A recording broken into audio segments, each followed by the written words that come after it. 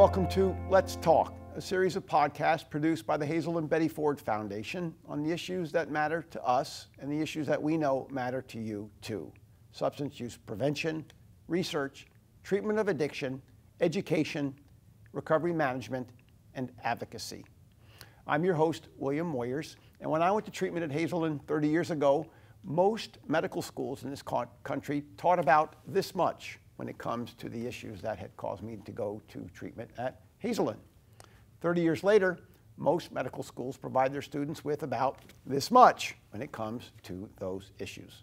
Fortunately, at Hazelden Betty Ford, we have a program specifically designed to educate medical students on the issues that really matter addiction, treatment, and recovery. Those medical students apply and are accepted uh, based on their applications. They get to come free of charge thanks to the support of our philanthropic donors. And they come and they spend a week immersed in the treatment experience, either in Rancho Mirage, California, or in Center City, Minnesota, where we have two of our main facilities. This past summer, the summer of 2019, approximately 190 uh, students in medical schools from around the country and the world experienced the SIMS program. And hear this, today, we have three of those students who have gone through the program. Katie Faree, thank you for being here. Thanks for having me. You're welcome. Heather O.S., thank you for being here, Heather. And Brooke Hendricks. Brooke, you um, are at the University of Minnesota. Yep. And I wanted to start with you by asking how was it that you found out about the SIMS program? Um, so I found out about the SIMS program um, because, like you mentioned, um, we really don't get much exposure at all to um, learning about substance use disorders in our first year. Um, and based on um, an experience I had living and working in Syracuse, New York prior to medical school and getting involved with a syringe exchange program and a Suboxone clinic there. Um, I had this big interest in addiction medicine, so decided to seek out ways outside of our school curriculum that I could learn more about it. Um, and that's how I found the Betty Ford Sims program. Heather, you plan on practicing emergency medicine. Yep. Why did you want to come to the Sims program?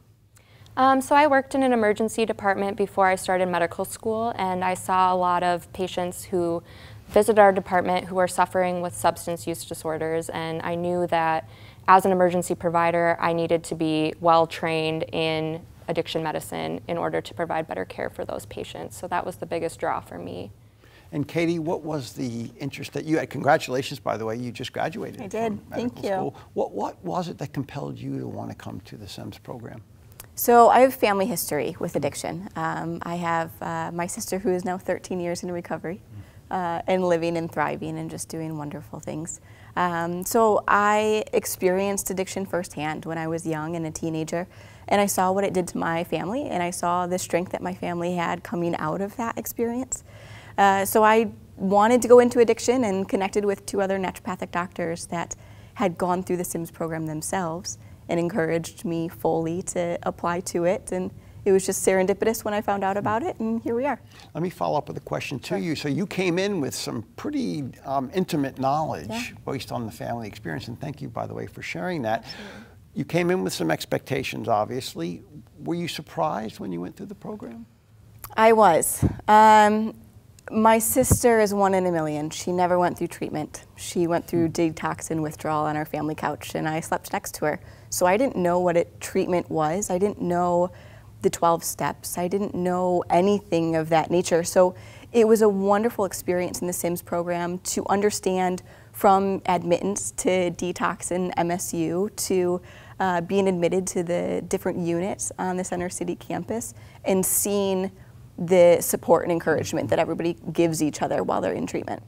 Heather, what was the biggest takeaway for you from the week that you spent? I think you were in Center City as well, correct? I was, yes. yes. Um, you know, I just found it really inspiring that I think the way that not just the medical profession, but society in general, uh, the way that we approach and perceive addiction as a disease is changing, and the way that we approach treatment towards addiction is changing as well. And so for me, a really big takeaway was just being around other medical students and future providers, future colleagues, um, and just knowing that we're getting that education and that, you know, that gives me a lot of hope for the future uh, for patients who are struggling with this disease. Brooke, what kind of relationship did you did you develop on the unit? I mean, you were there for a week, but it was only a week. Right. Um, I think one aspect of the Sims program that really like promoted that relationship development was the opportunity to be part of a therapeutic small group and to be in that same small group throughout the week.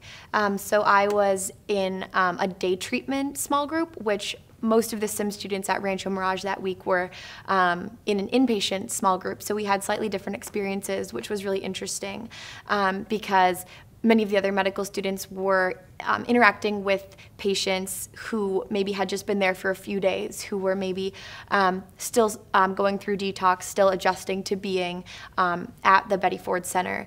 And my group was more about planning on what's next. How do we maintain recovery? How do you find a meeting, find a sponsor? And that was really interesting to me because um, as I hope to work in the outpatient setting, I think that that is really where I'll meet patients. And so um, it was just kind of a cool coincidence that I ended up in this outpatient treatment group um, who really like welcomed me and allowed me to share and to um, hear their stories and to really learn about um, their experiences at Betty Ford. Heather, you um, talked about we talked earlier, you talked about that connection with the patients, but there were also lectures from clinicians. Mm -hmm. What were some of the takeaways you had from listening to some of the experts talk about these issues? One big takeaway for me is just the change that is happening with treatment in terms of using medication assisted treatment. I think that's still a relatively novel approach to treatment and uh, you know, it was really great to get that education because, as you mentioned, we really don't get a lot of that in medical school. And so to hear from people who are firsthand using these types of medications to assist with treatment and approaching it as a way of having a long-term solution to a disease that is chronic.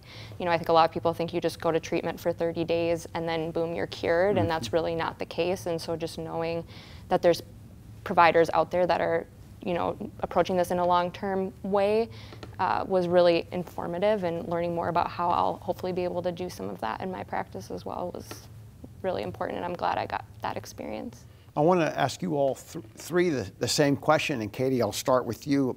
I'm intrigued that you're pursuing neuropathic medicine. Naturopathic. Or naturopathic yes. medicine how do you how are you going to apply what you've learned and at Sims and what your interest in addiction as it relates to natural? Sure. So I've always said there's a time and a place for all medicine.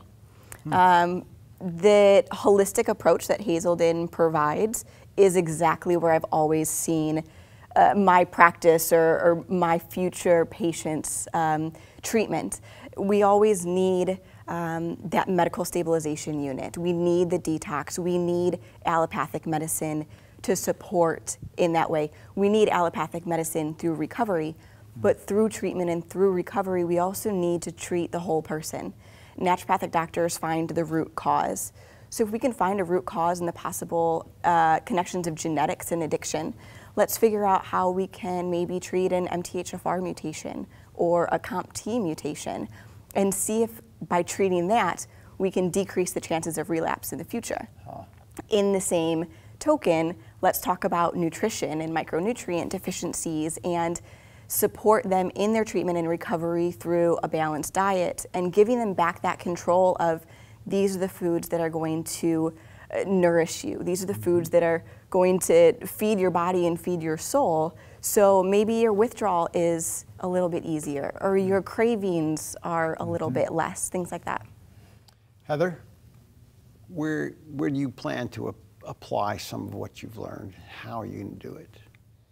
Um, so, you know, as a medical student, I'm hoping to take away a lot of just that attitude, that reduced stigmatization of substance use disorders and spread that around with my classmates and future colleagues and just, you know, I want to re reduce that attitude towards addiction that I've seen so much of. And, you know, I want to apply that going forward so that you know, these people aren't afraid to come forward and ask for help because help's there and there's people that are working to provide that assistance for those who need it. And, you know, just doing whatever I can to reduce that stigma, I think is the big takeaway for me. And Brooke, we talked about community-based care and, and, being down in the trenches of healthcare. where do you see yourself as it relates to applying uh, the experiences of the SIMS program? Sure. So um, I, right now, um, would like to pursue an internal medicine residency followed by an addiction medicine fellowship. Um, and like I mentioned, I would like to work in an outpatient um, medication assisted therapy type clinic. Um, but I think on the path of internal medicine, um, one thing you have a lot of exposure to is working as a hospitalist. So the doctors who are taking care of patients who are admitted. Um, and I think that that can be a really great place to apply what we've learned about substance use disorders. Um, for example, you could have a patient admitted with um, withdrawal, admitted with infections caused by um, intravenous drug use, for example. Um, and rather than just treating that issue and sending them on their way, I think you have um, a unique opportunity to, uh, if if not kind of like get into the root of maybe their substance use disorder, at least create a space where they could ask for help and they could share um, maybe what's going on. So that's um, where I see addiction medicine really fitting into internal medicine and working as a hospitalist. I know I'm selfish when I say this, but I, I hope, and I think I speak for my colleagues at Hazelden Betty Ford, we, we hope that you all will also be ambassadors for um, the fact that the medical community really needs to be part of the solution when it comes to addressing substance use disorders, and that medical schools do have an opportunity and an obligation to teach mm-hmm. uh, the very things that you all experience through the SIMS program. Can we ask you to be our ambassadors? Absolutely. And, if, and, as, and as ambassadors, and I'll go down the row, row starting here, what, what would be the key message that you would carry out there into the community? So the big thing is that if you are working in medicine, you have to know addiction. It's really that simple. Whether your patient is uh, in recovery, you need to know what questions to ask them. Are they still going to AA? Are they going to NA? Do they have cravings? Have they relapsed? How are they um, creating this sober living network around them? Mm-hmm. If it's loved ones where maybe they've lost somebody to addiction, or maybe they have loved ones that are going through recovery, are they going to Al Anon meetings? So just knowing what to say to my future patients. Mm is something that I know that I'll hold true just going through the SIMS program. Mm-hmm. But that's with me going into addiction medicine. My colleagues that are going into endocrinology or women's health, whatever it is, you're still going to come across people that are in some way affected by addiction. You need to know how to ask those questions. Mm-hmm. So at the end of the day, every medical student needs to have additional training in addiction. Bottom line. I know you agree, right, Heather? Yeah, I was going to say, I, I have to echo everything that you mentioned. I mean, I think some people think that, you know, I don't want to touch addiction, that's a messy area. The patient population is unique in its own ways, and you really can't avoid it. Any specialty that you go into in medicine, you're going to be interacting either with someone who has an addiction problem or someone who has a loved one or friend, family member who has addiction. It touches every person in some way. And so just knowing how to be a support system either for the person who's directly suffering from addiction or who knows someone and by extension is therefore suffering from addiction in that way. Um, just being a good resource for them. And Brooke, your message? Um, I think that one of the big things I took away from the SIMS program um, is that it just further demonstrated to me that um, substance use disorders don't discriminate. Um, they don't choose different races, genders, socioeconomic statuses. Um, so the more we can break down the stigma of what a substance use disorder looks like and who looks like who the face of a substance use disorder is i think the more likely we as providers are to maybe um, catch those early signs or to catch a person um, who's maybe coming to us as a cry for help hoping that we will ask those questions and hoping that we will take the time out of that appointment to um, just open the door up for them to ask for help. Thanks to all three of you for your uh, passion and your commitment to experience the SIMS program for your willingness to um, carry that message and for being here today to help promote the, the fact that um, medicine does have a role, not just in addressing the problem, but a role also in promoting the solution. So thanks to all three of you for being here.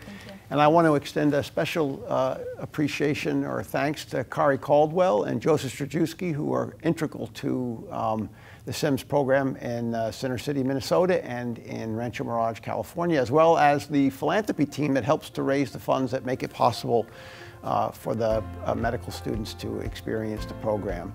Uh, on behalf of our executive producer, Lisa Stangl, I'm your host, William Moyers. Thank you for joining us for Let's Talk, a series of podcasts on the issues that matter today and into the future. Thank you.